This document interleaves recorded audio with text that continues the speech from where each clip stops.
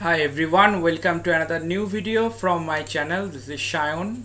So in this video, we will discuss a questions from CSIR which is about heterocyclic chemistry. So now, as I have said, for organic chemistry reactions, it's very important to uh, first look at the reagents, what they have given to you. Now see for these reactions, you have to find out two products. This is A and another product is B. Now for this this reagent is actually alkylating agent. This is very common and you know as a chemist. But for this step is quite tricky. So you have a anhydride type of things in a cyclic form. Now you can understand if you have any nucleophile it will attack here and this bond will break so ring will be closed. Now you have two acidic hydrogen. This hydrogen here and another hydrogen is attached to nitrogen. So any base if you if you have in the solution any base then it can abstract this hydrogen as well as it can abstract this hydrogen. Now obviously nitrogen is more electronegative so this hydrogen will be more acidic. So any base can abstract this hydrogen and make N minus more easily at room temperature. Now the next reagent is okay Et2O is a solvent. There is no uh, the, it have no role to play for reactions to make forward but this is CH2 minus N2 plus this have an important role this is diazomethane we have also used in previous some questions in another video just check it out so diazomethane actually have something uh, positive N2 plus and CH2 minus. So both the both the things you have in this reagent. CH2 minus will act as a good nucleophile and N2 plus will act as a good leaving group. Now so one things can happen. This nucleophile can also act as a base, CH2 minus.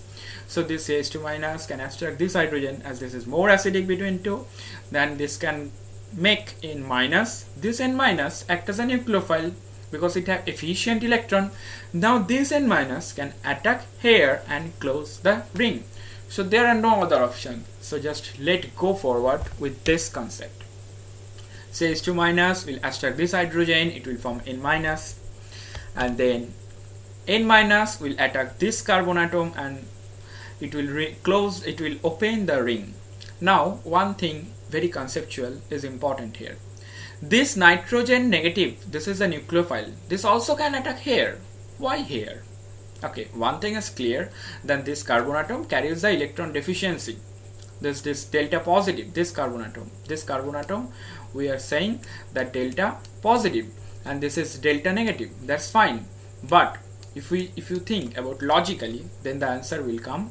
You have c double bonded c and another option c double bonded o. Now this nitrogen is a nucleophile. It's a lone pair. It will attack at what? Lumo. Lumo energy level of c double bonded c or another option c double bonded o. Now if you draw the energy level diagram this is c another is c. The same level because both are carbon atom this is LUMO and this is HOMO. So uh, this will be more energetic. LUMO as we know more energetic. So this is LUMO. Now if you have C double bonded O as we know oxygen is more electronegative. So it will have some energy level lower than carbon atom. So for oxygen the energy level will be like this. Here oxygen. So the energy level HOMO-LUMO diagram will be like somewhere below than carbon-carbon. This one LUMO and this one HOMO. This will like this. Okay. Now nitrogen also electronegative. Nitrogen is also electronegative. So nitrogen is also will be somehow like here for nitrogen. Nitrogen lone pair uh, level energy level will be somewhere here. Some extent lower or upper of oxygen atom now this will be more closer than this C double bonded O LUMO as compared to this C double bonded C LUMO. So energetically it's more favorable N minus nucleophile to attack the LUMO of C double bonded O as compared to C double bonded C. This is a very important concept. You can apply in another questions. I will let you see. So now you have this O minus and you have CH3N2 and a nitrogen attached in this carbon atom. Now as you can see this nitrogen N2 plus can act as a good leaving group. now what is uh, why it will act as a good leaving group? Because it will make N2 which is enthalpically and NR entropically both favorable. N2 it will act as a gas so entropy will in, in, increasing. It will more stable. Forward reaction will happening for N2 leaving group. And also carbon as compared to carbon nitrogen bond energy nitrogen nitrogen bond energy more stable as I have said in previous all, all the videos that heteroatom bond energy is somewhat greater than the homoatom bond energy. So homoatom bond are more stable than the heteroatom bond. So it will form this type of compound OCH3 C double bonded and N, N moiety is attached here. Now next thing is AlCl3 CH2Cl2. Whenever you will get this reagent AlCl3 CH2Cl2 only one things can happen alkylation. Now alkylation will happen. What is the probability of alkylation? This this bond this bond can attack here or here to figure out how it will happen you have to draw something in tricky form of this compound this compound so this step is quite tricky you have to remember or you have to figure it out by practicing.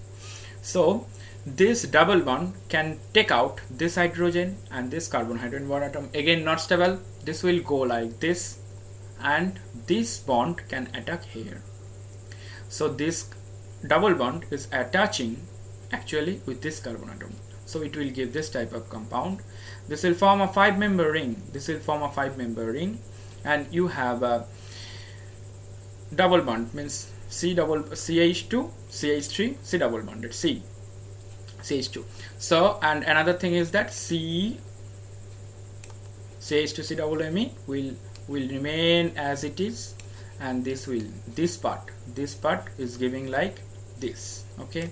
And this part this part this part is actually giving this heterocyclic ring okay now the next thing next thing is that stereochemistry how it's happening. Now as i have said this is going through a six member cyclic transition state. So when it is going six member cyclic then it will be obviously planar.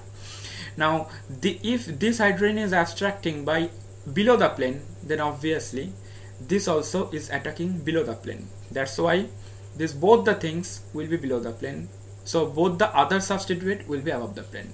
So in options you have to find out both the substituents will above the plane or below the plane as it is. You can choose any one of the options above the plane or below the plane. Okay. So now thank you for watching. That's all for these questions